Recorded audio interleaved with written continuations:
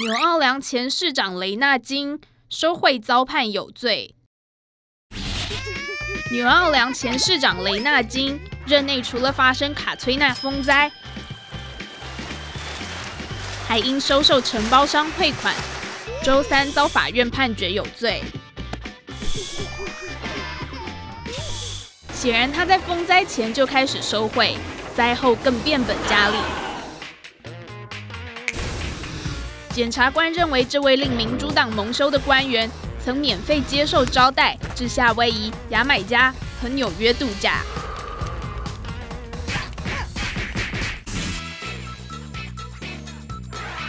他借由通信服务和矿产谋取私利。并以五百万美元的合约回馈厂商，